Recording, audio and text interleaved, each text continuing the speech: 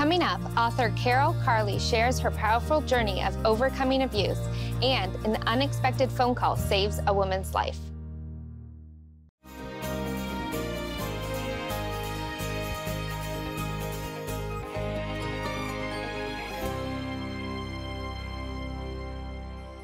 Welcome to the 700 Club Canada. We're so happy you could join us today. You know, Emily, I, I, really try to instill in my kids that when they start something, not to give up on it. Right. There's so yes. there's so much importance in completing your task or following through with something you said you were going to do. Right? Mm-hmm. Something I think all of our parents help us see when we're younger, right? Absolutely. That importance. And today we're actually going to hear a story. Carol, who's the author of her own true story, Wounded Heart, Healed Spirit, is the incredible true story of an unlikely follower of Jesus. She's going to join us today and share how it was really easy for her to have given up on God, but how God transformed tragedy into triumph and she gave, and gave her healing from Amazing. her past. So yeah. let's let's welcome Carol to the show. Carol, Carley, thank you so much for joining us today. Hi, hi, Emily. We're so glad that you're on. I've had the privilege of reading your book, and it's been such a uh, joy to read, but it's been a difficult story as well. It's a true story of your story, and yet we see what God has done in your life. So, you write in your book about your difficult childhood and all that you've been through. So, tell us, why did you decide to share this story? Um, I'd have to say I decided to share my story because I realized that even though my childhood was, you know, I was devastated by a violent alcoholic father, but uh, I know that there are a lot of broken, uh, hurting people out there in the world, and I've met I've met some of them, and I've ministered to many of them, and so I think I shared my story and had the courage to do that because I want them to know that if God can bring healing to my shattered life and put it back together that uh, all they really need to do is um, with a lot of other help and especially through their relationship with jesus they can find hope they can find healing and i'm just an ordinary person but god transformed my life and it's more than i ever could have could have imagined yeah, so let's talk about that a little bit. If you could describe in a few words, how did your life change after you became a Christian?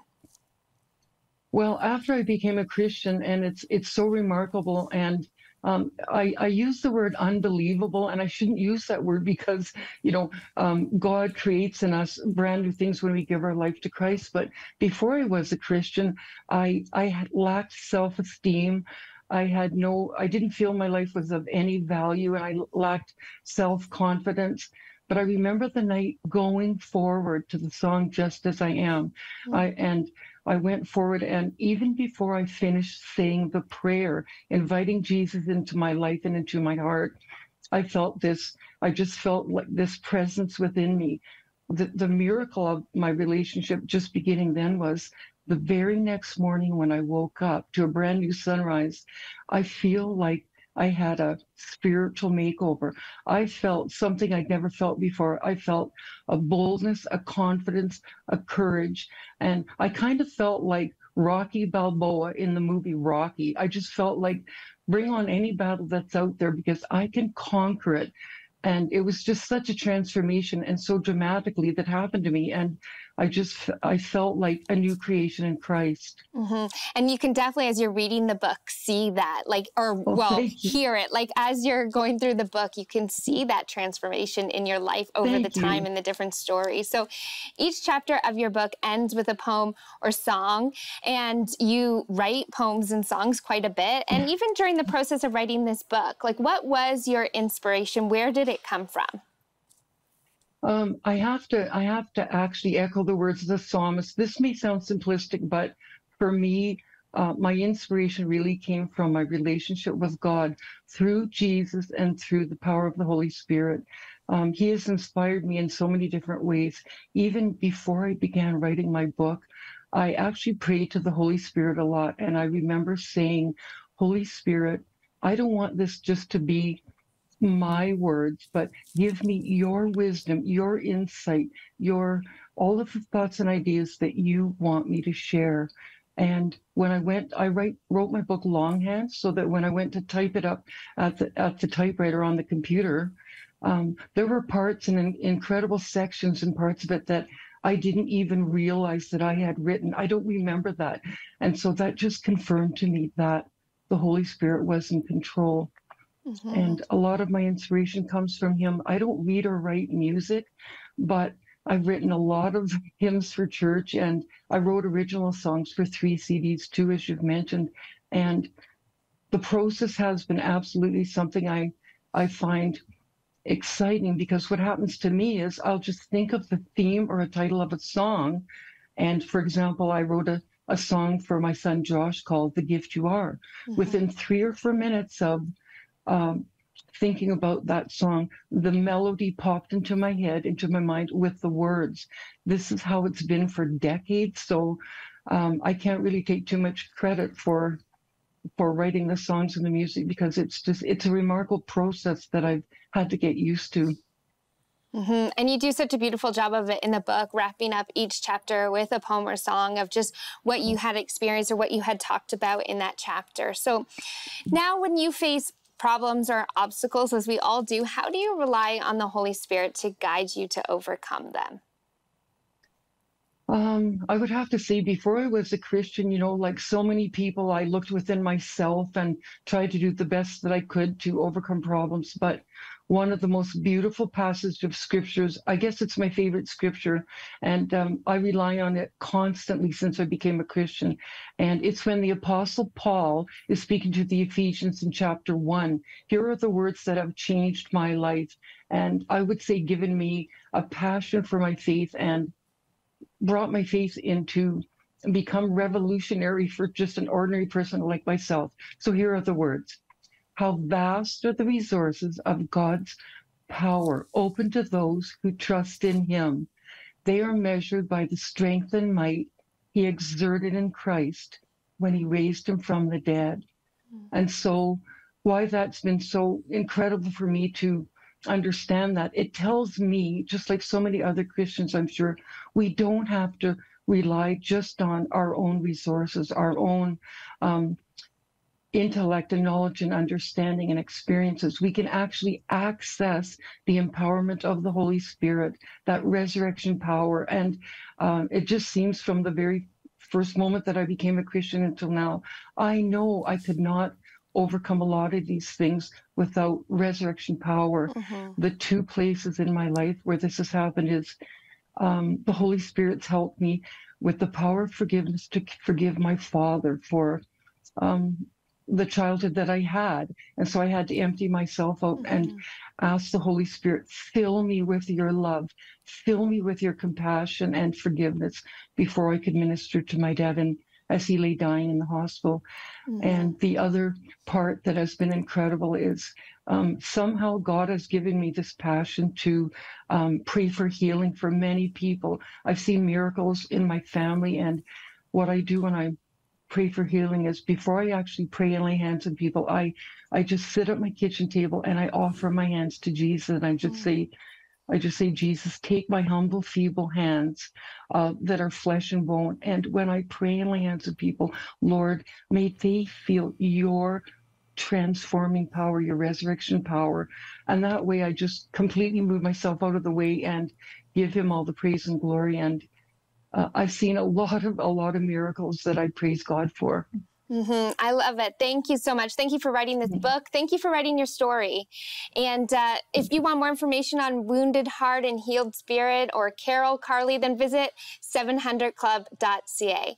Well, now, after years of trying to cover her pain, Margot le- learns to let God heal her. I felt completely alone. I just started shutting down. I was gonna take my life, and there wasn't gonna be anybody to stop me. Margot Blair has fond memories of piggyback rides and going fishing with her adoptive father. However, there's one memory she wishes she could forget the day he committed suicide. I was five years old. My dad was clinically depressed. He had bipolar disorder. He was an alcoholic. No one was able to explain that. So the pain, the hurt, the just the misunderstandings were so deeply rooted. Those emotional wounds grew deeper when her classmates began bullying her about her father's suicide, saying that he did it to get away from her. And I'm like, well, maybe that is true. I believe that if he loved me, then he would have not taken his own life.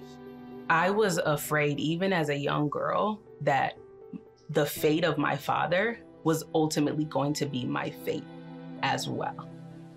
The pain would get deeper still.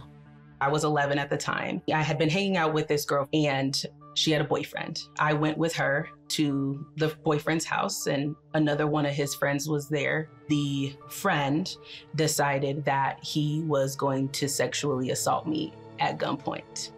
I felt ruined. I felt all is complete shame. I felt guilty. Margot walked home in the rain. Coming into the house, she'd hoped her mother would ask what happened, but she didn't. I believe that as a mother, she should have known that I was just taken advantage of in some way. I blamed her for everything. Those thoughts of being worthless, those just intensified. Margot dove into partying and having sex, just trying to find acceptance with whoever she could, even starting a toxic relationship with the boy who raped her. This went on until she was 15, and one of her friend's parents insisted on taking her to church. Margot knew about Jesus and had even professed her faith in him as a little girl. But she'd lost that connection after everything she'd been through. As the pastor was preaching, I felt he was delivering this message straight to me. You are chosen, you are worthy. Everything that's happening to you in your life, I can God can use it for good.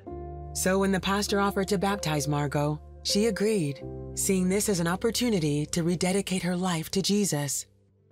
It was a type of peace.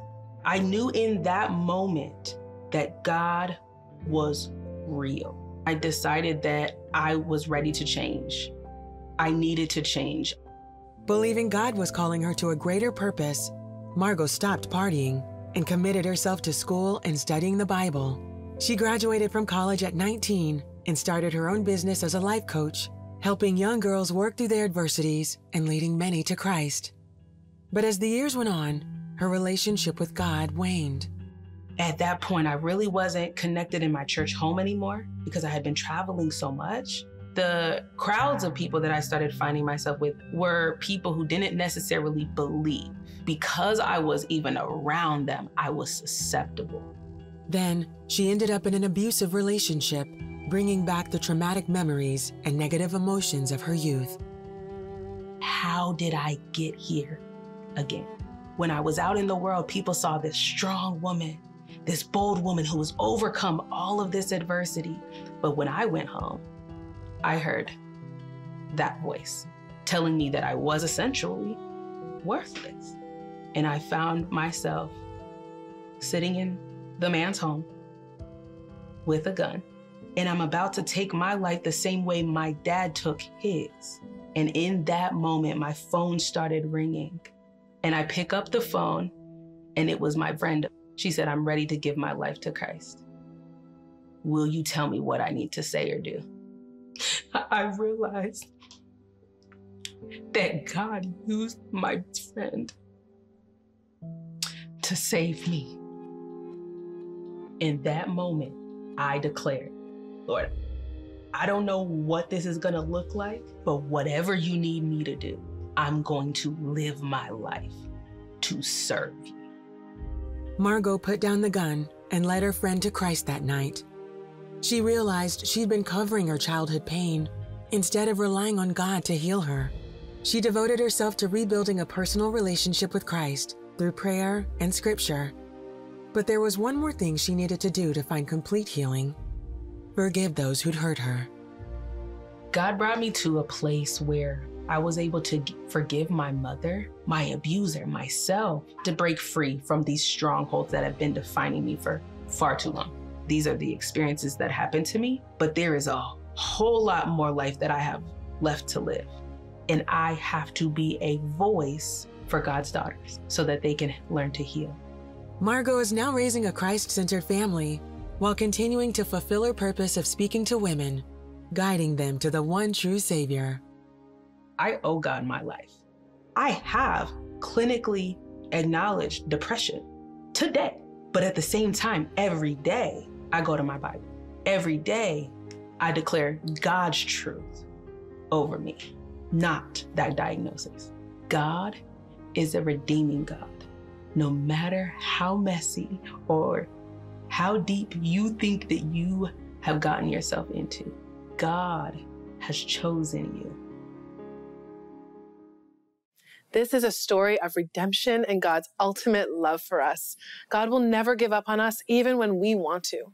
You know, men- mental illness is very real and very serious. And don't take for granted that just because someone is saved doesn't mean they aren't or can't be experiencing depression.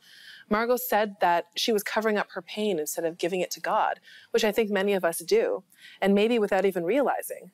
But God sees the pain and He knows your heart, and He will always use what the enemy meant for evil for His good. God orchestrated the salvation of Margot's friend to save her. Do you see how awesome our God is? The devil wanted her gone, but God always wins. And even though Margot had been clinically diagnosed with depression, she doesn't own it because she knows it doesn't belong to her.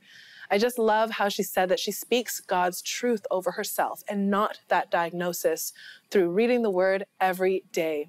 If you're battling with disease, depression, sickness, or anything at all, know that it's not yours. It doesn't belong to you because Jesus paid for it all. We were made to be whole and healed on the inside and on the out. So start declaring God's truth over yourself now. One of my favorite scriptures is 1 Peter 2 9. But you are not like that, for you are a chosen people. You are royal priests, a holy nation, God's very own possession. As a result, you can show others the goodness of God, for he called you out of the darkness into his wonderful light. God chose you. You are not a mistake. You are loved and you have a purpose. It doesn't matter what you've done or where you've come from. God is going to use you. And please call our prayer line right now, 1 855 759 0700 to get this pamphlet and DVD. After the break, see how the power of forgiveness allowed Hermes to find freedom from addiction.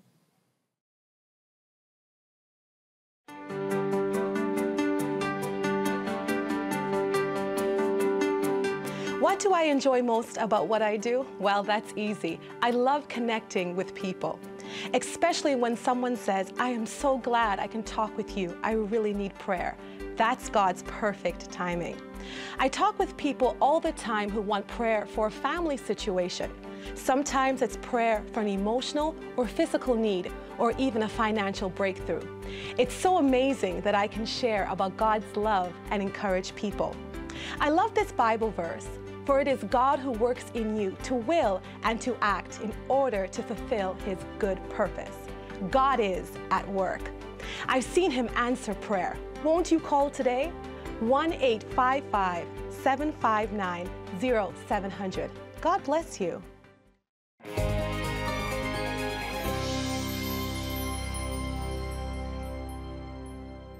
I felt very bad. I felt like I was a horrible Christian. God doesn't really love me that much because I must be one of his bad sons. It had been eight years since Hermes Yanis gave his life to Christ. Now at age 30, he just received a DUI and an ultimatum from his wife, Joanna. He said, you keep this cycle up and we're gonna have to get a divorce. You have an addiction to alcohol. You really need help and I was in denial. I didn't want to really admit that I can't stop. It was crushing. Hermes' path to finding purpose and faith in Christ had started when he was young. Raised by a single mother, he'd decided early on that his ticket to success was baseball. By the end of his freshman year, three colleges had offered him scholarships. I lived, and breathed, slept baseball. That was my identity right there. I became very arrogant. I became cocky. I was a ninth grader thinking I ran the world. You know, I was like, I got this. Now Hermes was hanging out with his older teammates, smoking pot daily and sneaking into bars. His grades dropped, and in his junior year, Hermes was cut from the team. Any shot he had at a college scholarship was gone. It's like my world stopped. It completely froze. So now I was shameful. So even when I would brush my teeth in the mornings, I remember I would look at myself, I always used to curse at myself just spit toothpaste to the mirror. Like, I, I can't believe you, you know? Almost overnight, Hermes became an alcoholic. I would bring a water bottle with me, and people would think it's water, and I'll have vodka in there. And just drinking it like it was normal. I was literally drinking my life away. I was committing suicide slowly. Then one night, drunk, high, and on his way home from a club, Hermes was in a terrible car accident. He woke up in an ambulance with a paramedic looking over him. And he goes like this to me, I'm a Christian man and God saved your life. Nobody usually um, survives an accident like this. I just kind of brushed it off. I just didn't understand that God would save me, you know, that, that there's somebody out there that loves me. I didn't feel loved. Hermes kept up his party lifestyle. A few years later, a friend insisted that he go to church with her. I heard who Jesus is. I started hearing about my sin problem. I had no idea what sin was, but it hit me. It started touching me. What hit him harder was what the pastor said at the end of his sermon. A young man in here, he's in this building right now, and you've been going through this and this, and everything he was saying was exactly what I've been through in the past four years. There has to be another kid in here. That can't be me. He's like, young man, if that's you, don't leave this place without giving your life to Jesus. And it hit me. And I broke down like a baby right there. I surrendered my life to Jesus. I said, Jesus, I don't know who you are, but I asked for you to come into my life. Even then, he wasn't convinced Jesus was who he said he was. So a few days later, while struggling with pain from an old back injury, Hermes decided to test him. And I said, Jesus, if you're real, you come and you heal my back. And it was just me on my knees, and I'll never forget this moment. It felt like the whole atmosphere around me just changed instantly. And I felt like this heat around my back from head, from the whole spinal. It was like a heat that went up and down. And I knew something was there. I knew it was God. I've never had back pain ever again in my entire life. And I knew that it was Jesus Christ who healed my back. I knew it was him. From that point forward, I was convinced. Hermes says Jesus also set him free from drug addiction. He dove into his new faith wholeheartedly. Found myself a mentor. He started teaching me the Word of God. I got me a Bible, so I started reading the gospel, growing in the knowledge of Christ. I started understanding, you know, that I'm a sinner, that I need forgiveness. Soon after, he met Joanna and they married and started a family. Although growing in his relationship with God, he still struggled with alcohol. I would fall into addiction every time a situation would happen to me, you know, because there was still uh, pain in me that I wasn't really dealing with. That pain stemmed from his childhood and the father he never knew. That wound of anger and hatred that I had towards my father was just getting deeper and deeper as the years went by, you know. I hated him even as a Christian. I was like, I don't want to forgive that man. He doesn't deserve it. You know, so I was struggling with that. Then came the DUI, his wife's threat of divorce, and a few nights later, a dream where he was wrestling with a man he knew was his father. And it showed me in the dream how I had to, and I must forgive him. I must release him and let him go. And that God loves him. And I knew that was the root of everything right there. For that, Hermes needed God's help. I was challenged to forgive him through prayer every single day, you know, and God would pour into me his love and help me feel what God felt for my father.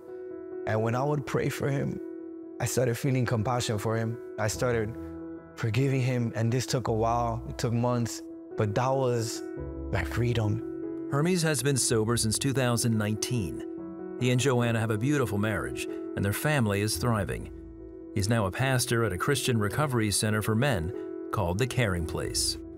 There's a God out there who really truly cares about every single detail of your life. Now it's like I eat, sleep, live, breathe Jesus. Like that's it. I'm sold out. And he loves me with an unconditional love. There's nothing better.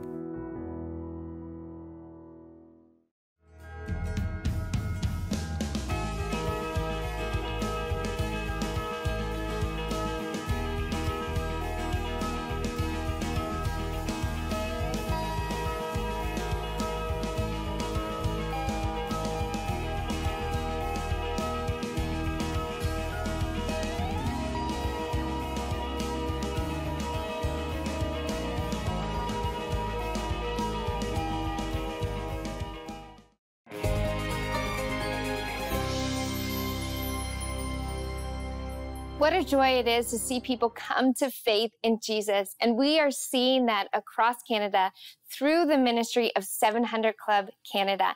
And we want to invite you to be a part of that. You can do that by becoming a monthly partner today. And when you do, we want to send you a gift entitled Biblical Answers to Today's Questions. It's a DVD and workbook. And when you join as a 700 Club Canada monthly partner, we'll send you that. All you have to do is call 1 855 759 0700 and it's yours today. You'll also receive our monthly newsletter Frontline, so call now.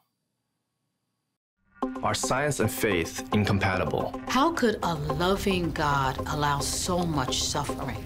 So, what are the signs of the end times? Let biblical truth guide your thinking on the major issues of our day. God wants to give you wisdom. Become a CBN partner and get biblical answers to today's questions. The Word of God has the answers we're looking for.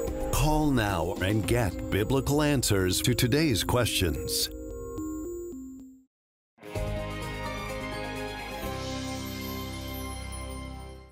We saw some incredible stories today about mm-hmm. how God never gives up on us, about his redemptive power, his love. You know, Margot's incredible story dealing with depression, and God saw her mm-hmm. through it, and her, Hermes as well as a young alcoholic and abusive father. But God always, always, always yeah. was there for them the whole time. Yeah, yeah. He chases us just yeah. as much as he wants us to come as to much him, as we run right? away, he yes, chases yeah, us. That yeah, that too. Yeah, exactly. He'll meet us wherever we're at. Exactly. And you know, as we gear up for summer, one of the things we have to think about is our health, right? right? God cares about our whole being. And because of that, as we lead into the summer, we're going to be launching a new series on YouTube Amazing. called Wellness Wednesday. So every Wednesday this month in June, um, on our YouTube channel, you can go on there. Our first one's going to be this coming Wednesday on spiritual health. So make sure to su- subscribe to our YouTube channel so that you get those as soon as they're uploaded. Yeah, it's going to be so great. And we also have a couple of prayer requests. We have Nancy, please pray for my grandson. He's going through a tough time. And Andres, please pray for me. I've been dealing with insomnia, anxiety, and depression. So, God, we just lift both of these individuals up to you, God, as they are going through a difficult and overwhelming time. That you would just bring peace into them, that you would help Andres be able to sleep, Father God. And we just pray uh, for this grandson that you would keep him and protect him and help him to know that he is loved by you. In Jesus' name. Amen. Amen. And our power verse today is Psalm 86 15. But you, Lord, are a compassionate and gracious God, slow to anger, abounding in love and faithfulness. Amen. Well, thank you so much for joining us, and we will see you next time. To contact us, visit 700club.ca. On the next 700 Club Canada, a devastating train accident leads one woman on a journey of faith, and a man needing multiple organ transplants experiences a miracle.